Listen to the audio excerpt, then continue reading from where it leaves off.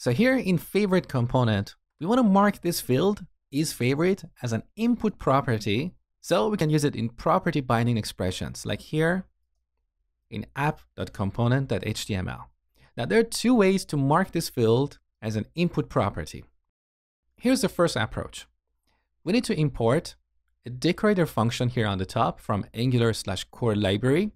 This is called input. And then we can use this to annotate this field. So at sign input, and we call it like a function. Exactly like how we use this component decorator here. Now input is another decorator in Angular for marking fields and properties as input properties.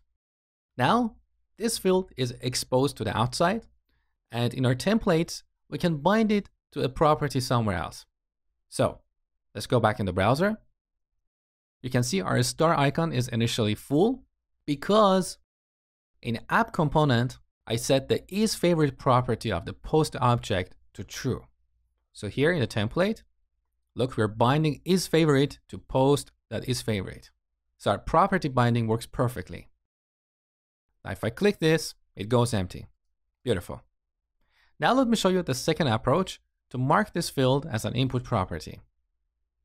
So back in the favorite component, we don't need this input decorator, so we can delete it from the top. Instead, we can declare this field as an input property in the component metadata.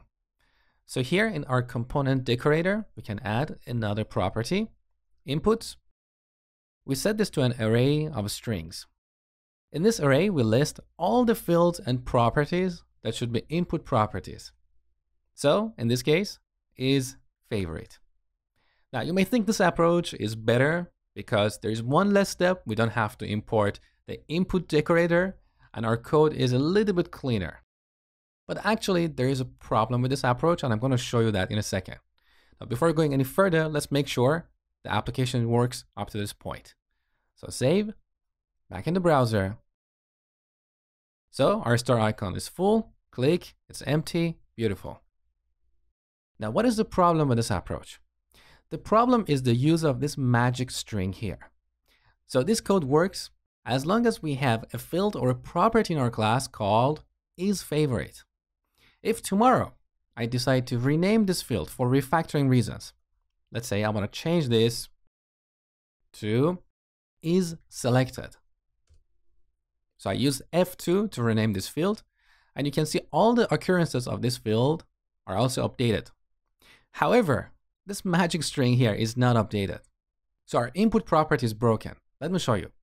Save, back in the browser. So look, the star is full and you may think this is actually working. But no, look what happens when I click on this icon.